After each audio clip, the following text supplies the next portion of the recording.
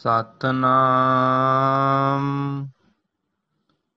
ਸ਼੍ਰੀ ਵਾਹਿਗੁਰੂ ਸਾਹਿਬ ਜੀ।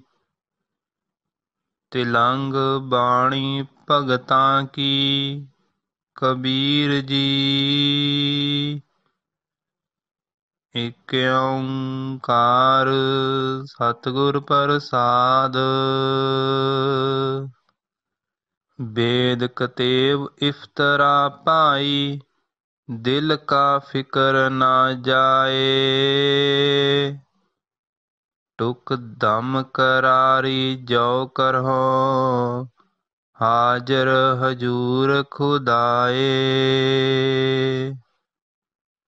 ਵੇਦ ਕਤੇਬ ਇਫਤਰਾ ਭਾਈ, ਦਿਲ ਕਾ ਫਿਕਰ ਨਾ ਜਾਏ।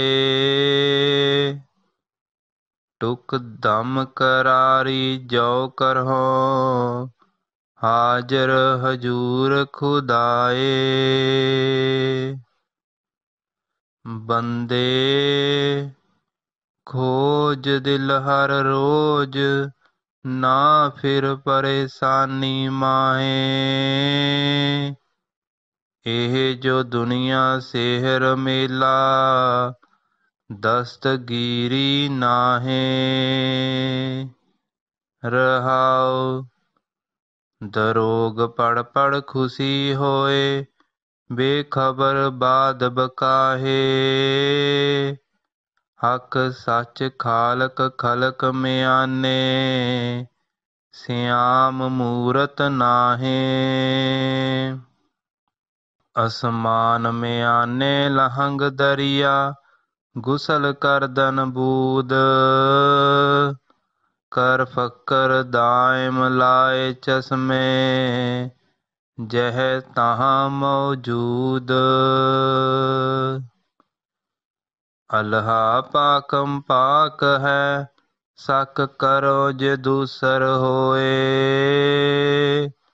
ਕਬੀਰ ਕਰਮ ਕਰੀਮ ਕਾ ਉਹ ਕਰੇ ਜਾਣੇ ਸੋਏ। ਅਲਹਾ ਪਾਕਮ ਪਾਕ ਹੈ ਸਕ ਕਰੋ ਜੇ ਦੂਸਰ ਹੋਏ। ਕਬੀਰ ਕਰਮ ਕਰੀਮ ਕਾ, ਉਹ ਕਰੇ ਜਾਣੇ ਸੋਏ।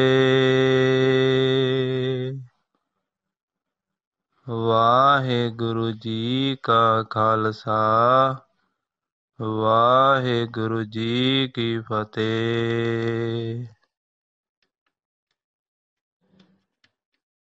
ਤਿਲੰਗ ਬਾਣੀ ਭਗਤਾਂ ਕੀ ਕਬੀਰ ਜੀ, ਏਕ ਓੰਕਾਰ ਸਤਿਗੁਰ ਪ੍ਰਸਾਦ।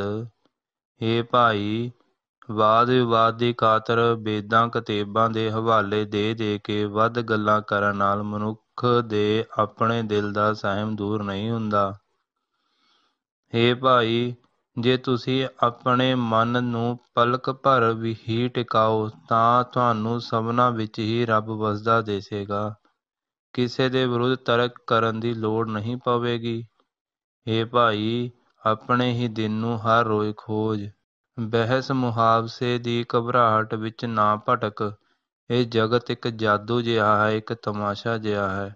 ਇਸ ਵਿੱਚੋਂ ਇਸ ਵਿਅਰਥ ਵਾਦ ਵਿਵਾਦ ਦੀ ਰਾਹੀਂ ਹੱਥ ਪੱਲੇ ਪੈਣ ਵਾਲੀ ਕੋਈ ਸ਼ੈ ਨਹੀਂ ਰਹਾਓ ਬੇਸਮਝ ਲੋਕ ਅਨਮਤਾਂ ਦੇ ਧਰਮ ਪੁਸਤਕਾਂ ਬਾਰੇ ਇਹ ਪੜ੍ਹ ਪੜ੍ਹ ਕੇ ਕਿ ਇਹਨਾਂ ਵਿੱਚ ਲਿਖਿਆ ਝੂਠ ਹੈ, ਖੁਸ਼ ਹੋ ਹੋ ਕੇ ਬਹਿਸ ਕਰਦੇ ਹਨ। ਪਰ ਉਹ ਇਹ ਨਹੀਂ ਜਾਣਦੇ ਕਿ ਸਦਾ ਕਾਇਮ ਰਹਿਣ ਵਾਲਾ ਰੱਬ ਖਲਕਤ ਵਿੱਚ ਵੀ ਵਸਦਾ ਹੈ। ਨਾ ਉਹ ਵੱਖਰੇ ਸਤਵੇਂ ਸਮਾਨ ਤੇ ਬੈਠਾ ਹੈ ਤੇ ਨਾ ਉਹ ਪਰਮਾਤਮਾ ਕ੍ਰਿਸ਼ਨ ਦੀ ਮੂਰਤੀ ਹੈ। ਸਤਵੇਂ ਸਮਾਨ ਦੇ ਵਿੱਚ ਬੈਠਾ ਸਮਝਣ ਦੇ ਥਾਂ, ਹੈ ਭਾਈ, ਉਹ ਪ੍ਰਭੂ ਰੂਪ ਦਰਿਆ ਤੇ ਅੰਤਰਹਿ ਕਰਨ ਵਿੱਚ ਲਹਿਰਾਂ ਮਾਰ ਰਿਹਾ ਹੈ। ਤੂੰ ਉਸ ਵਿੱਚ ਇਸ਼ਨਾਨ ਕਰਨਾ ਸੀ। ਸੋ ਉਸ ਦੀ ਸਦਾ ਬੰਦਗੀ ਕਰ, ਇਹ ਭਗਤੀ ਦੀ ਐਨਕ ਲਾ ਕੇ ਵੇਖ, ਉਹ ਹਰ ਥਾਂ ਮੌਜੂਦ ਹੈ। ਰੱਬ ਸਭ ਤੋਂ ਪਵਿੱਤਰ ਹਸਤੀ ਹੈ, ਉਸ ਤੋਂ ਪਵਿੱਤਰ ਕੋਈ ਹੋਰ ਨਹੀਂ ਹੈ। ਇਸ ਗੱਲ ਵਿੱਚ ਮੈਂ ਤਾਂ ਹੀ ਸ਼ੱਕ ਕਰਾਂ ਜੇ ਉਸ ਰੱਬ ਵਰਗਾ ਕੋਈ ਹੋਰ ਦੂਜਾ ਹੋਵੇ। ਏ ਕਬੀਰ ਇਸ ਭੇਤ ਨੂੰ ਉਹ ਮਨੁੱਖ ਹੀ ਸਮਝ ਸਕਦਾ ਹੈ ਜਿਸ ਨੂੰ ਉਹ ਸਮਝਣ ਯੋਗ ਬਣਾਏ ਤੇ ਇਹ ਬਖਸ਼ਿਸ਼ ਉਸ ਬਖਸ਼ਿਸ਼ ਕਰਨ ਵਾਲੇ ਦੇ ਹੱਥ ਵਿੱਚ ਹੈ। ਵਾਹਿਗੁਰੂ ਜੀ ਕਾ ਖਾਲਸਾ, ਵਾਹਿਗੁਰੂ ਜੀ ਕੀ ਫਤਿਹ।